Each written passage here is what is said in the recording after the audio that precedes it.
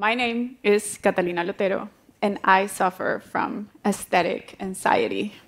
That means that, while you guys probably fear planes or some real life threatening thing like snakes.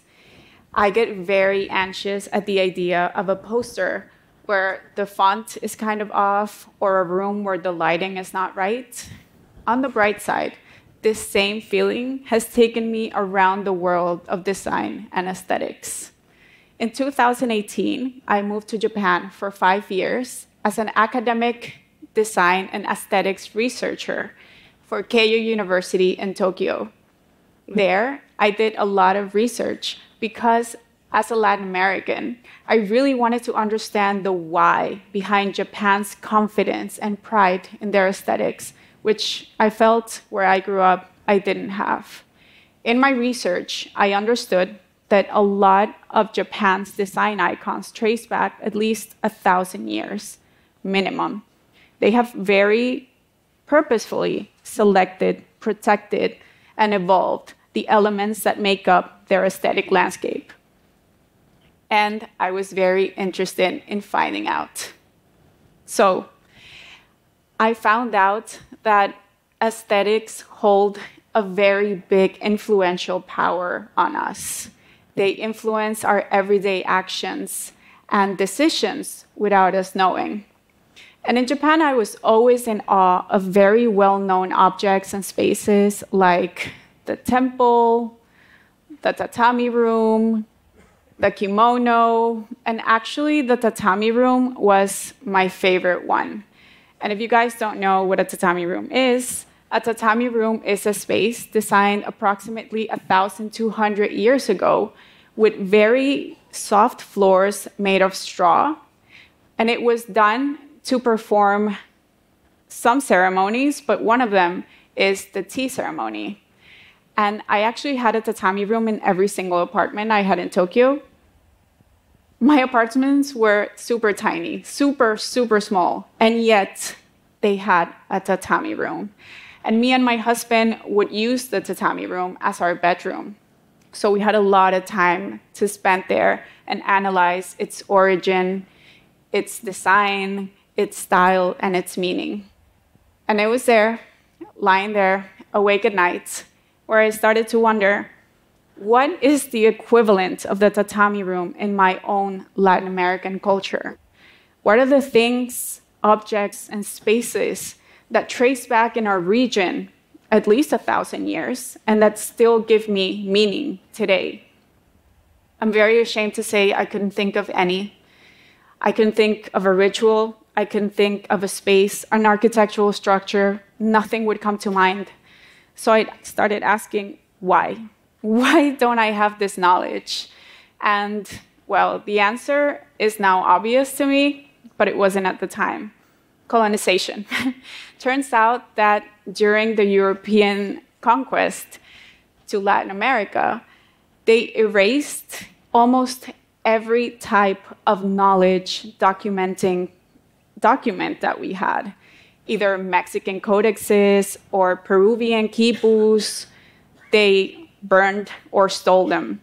So a lot, a lot was lost. And what they did to codexes and to quipus, they did to our spiritual beliefs, to our concept of what beauty is.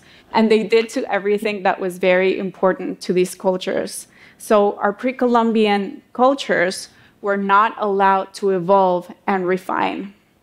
So I decided to turn to design to correct this. And I asked, what would Latin America look like if its pre Columbian civilizations had evolved without colonial interruption? And the quest for the answer of this question is something that I like to call pre Columbian futurism. Pre Columbian futurism is a speculative design project that seeks to dig the hidden stories and messages of our pre colonial communities and bring them into today through design. So I started with the equivalent of the Latin American tatami room, which is where it all started. Turns out, I learned that pre Columbian civilizations do a lot of rituals around the coca leaf, just as the Japanese have their own tea ritual. And the coca leaf is very important. Not only was it important before, but it's still today for a lot of indigenous communities. So I identified common features that the spaces dedicated to the coca leaf have. And for example, they were all rounded, they had a central fire, they had floor seating, they had metallic jars where you could spit in. And I took those and I brought them to today. So usually they were decorated with altars dedicated to gods, gods of corn, gods of the moon, the sun, or Chia and Sué, as they call them in the Chibcha dialect. And I was hooked. I really, really enjoyed the process so much because I did a lot of visual research. And during my visual research, some other things started to pop out and get my attention. One of those things was chairs. It's very, very hard for us industrial designers to ignore a good chair. So I did the same that I did with the Coca Room, and I identified common design traits in some of the chairs in Aztec codices, mostly. Like they all had sharp angles. They look very heavy when you look at them. They have a similar color palette. And my favorite part when I brought this design to today was how they depicted the way they made these chairs comfortable using jaguar skin. But not only did I find it very interesting that they used jaguar skin, but the way they printed and illustrated this jaguar skin. So I became a little obsessed with the way they did it, and I pretty much use it in everything I design now. And jaguar skin brings us to the jaguar. So the jaguar for a lot of pre-Columbian civilizations was a very important, powerful god.